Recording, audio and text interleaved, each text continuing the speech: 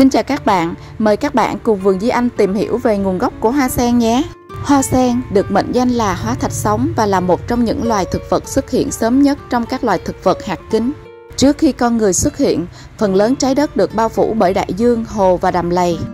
Vào thời điểm đó, khí hậu khắc nghiệt, thiên tai thường xuyên và không có động vật, hầu hết các loài thực vật đều bị loại bỏ và chỉ có một số loài thực vật hoang dã có sức sống mạnh mẽ mọc lên trên những vùng đất cằn cõi này.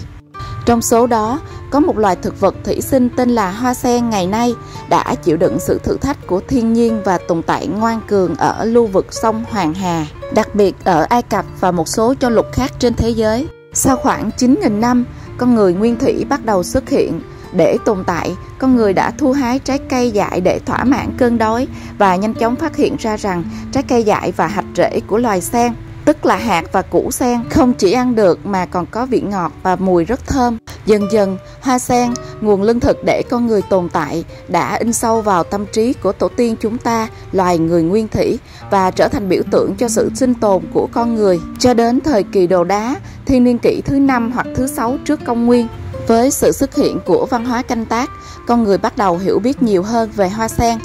Vào thời kỳ đó, con người thường định cư ở các vùng ven hồ và đầm lầy, có suối tự nhiên để đáp ứng nhu cầu nước trong cuộc sống và những khu vực này là khu vực phân bố chính của hoa sen hoang dã.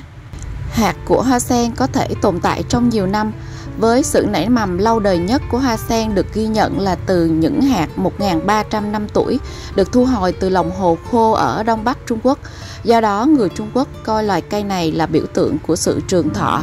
Bằng chứng về hoa sen có từ thời kỷ băng hà, thời kỳ mà hầu hết các loài thực vật trên trái đất đã tuyệt chủng, nhưng hoa sen vẫn tồn tại để trở thành một phần của hệ sinh thái ở hầu hết mọi nơi trên thế giới, từ Nga đến Úc. Chúng ta biết loài hoa này đóng vai trò quan trọng trong nhiều nền văn hóa cổ đại, bao gồm cả Ai Cập và Hy Lạp cổ đại. Và đến hiện nay, Hoa sen thường phân bố ở các vùng cận nhiệt đới và ôn đới như là Trung Á, Tây Á, Bắc Mỹ, Ấn Độ, Trung Quốc, Nhật Bản và Việt Nam chúng ta.